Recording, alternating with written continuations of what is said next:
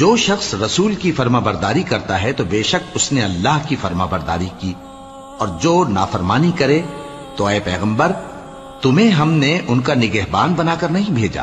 اور یہ لوگ منہ سے تو کہتے ہیں کہ آپ کی فرما برداری دل سے منظور ہے، مگر جب تمہارے پاس سے چلے جاتے ہیں تو ان میں سے بعض لوگ رات کو تمہاری باتوں کے خلاف مشورے کرتے ہیں۔ اور جو مشورے یہ کرتے ہیں، اللہ ان کو لکھ لیتا ہے۔ سو ان کا کچھ خیال نہ کرو اور اللہ پر بھروسہ رکھو اور اللہ ہی کافی کارساز ہے۔ بھلا یہ قرآن میں غور کیوں نہیں کرتے؟ اگر یہ اللہ کے سوا کسی اور کا کلام ہوتا تو اس میں وہ بہت سا اختلاف پاتے۔ اور جب ان کے پاس امن یا خوف کی کوئی خبر پہنچتی ہے تو اسے مشہور کر دیتی ہیں۔ حالانکہ اگر اس کو پیغمبر اور اپنے ذمہ داروں کے پاس پہنچاتے تو تحقیق کرنے والے اس کی تحقیق کر لیتے۔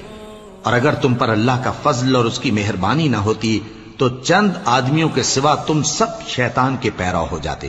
سو اے پیغمبر، اللہ کی راہ میں لڑو۔ تم اپنے سوا کسی کے ذمہ دار نہیں ہو۔ اور مومنوں کو بھی ترغیب دو۔ قریب ہے کہ اللہ کافروں کی لڑائی کو بند کر دے۔ اور اللہ شدید ترین جنگ کرنے والا ہے اور سزا دینے کے لحاظ سے بھی بہت سخت ہے۔